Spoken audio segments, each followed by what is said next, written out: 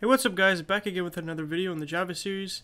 This episode I'm going to show you how to work with variable capture and effectively final variables. Know that bitch want me to go for that. But I'm too rich to put my d in that. Hit that bitch way back, I gave her back.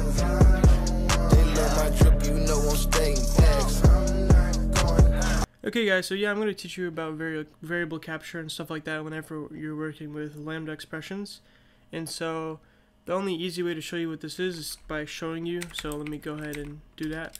So first let's just uh, go ahead and make a functional interface of course. So interface and we'll just call it functional interface because I'm not very creative obviously. So functional interface and then we'll give it a method here int func for function and then uh, and we'll give it a parameter of int a okay so it'll just take a parameter of course and then inside of here our main method we're going to actually uh, declare the implementation for this functional interface by using a lambda expression so we can do that functional interface uh, easy is equal to uh, int a arrow operator and then block expression then we can do something in here right but anyway, before we do that, let's well, let's have that there. Before we do that, we I'm gonna show you something here. Um, so let's say we have a variable out out here, right? So int thing is equal to 25, right? This is just a regular variable, okay? And so basically, we can use it inside of here, right? We could do something like this. Uh, well, let's declare a variable inside of here first. So int result. So we could use that variable out here inside of here perfectly fine, like we would do with the if statement, probably.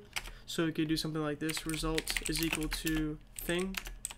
Okay, so we get no errors there, but, um, well, let's return the uh, results so you don't get any errors at all. And so that will work perfectly fine, but the problem is, um, let's say that we set the, the value of thing inside of here, right? We actually will get an error from doing that, so we can do thing is equal to, oh, let's go here. Thing is equal to 25, okay? Or 26 we get an error because thing is ex uh, effectively final. Okay, that's what it's called, meaning that it's not explicitly final, meaning it's not it doesn't actually have final in front of it, but it's effectively final, which means that it's been captured by a lambda expression. Okay, and so what that means is that whenever you use a variable outside of the scope of the variable, I mean of the lambda expression, it'll capture that variable and then make it final. Okay, so that means, of course, if you remember constant variables that it cannot be changed anymore because a final variable is constant, it can't be changed, right? So now it's been captured, right?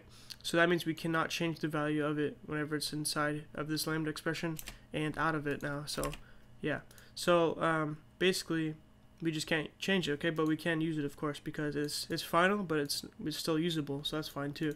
So yeah, that's called effectively final variables. Whenever you capture one, and then you use it inside of your lambda expression, okay? But like I just said, we cannot set the value of the variable inside of the lambda expression because it's effectively final, but we, we also cannot set it outside of here because it's effectively final. So it goes the same both ways. We don't get an error, but it still will, uh, we'll get an error here, but it doesn't have an error here. So if we run this, it'll actually print out an error so we can see. But yeah, you get the point. Basically, we cannot edit it anywhere anymore or change the value of the variable anywhere anymore as long as it's captured, okay? And it's been captured because it's been used by the lambda expression. So that's how that works. So whenever you're using a variable inside of a lambda expression, it's been captured, okay? Pretty simple stuff, right? And uh, yeah, so that's that's really it for this episode. I know it was very short, but basically you just have to understand that whenever you use a variable inside of a lambda expression, it's been captured, therefore turning it effectively effectively final, meaning that it cannot be changed. It's now constant variable, okay? So if you enjoyed the video, leave a like. If you want to see more, subscribe. And if you have any questions at all, just leave a comment and I'll help you. Also, we have a Discord in the description where you can check it out, join it, whatever you want to do. Um, you know, anything. And then also make sure you check out the code from today's episode. I'll leave a link in the description for you. And it'll all be there for you. And uh, so, yeah, make sure you do that. Bookmark it for future reference, all that fun stuff. And uh, yeah, so if you like the video, leave a like. If you want to see more, subscribe. And peace.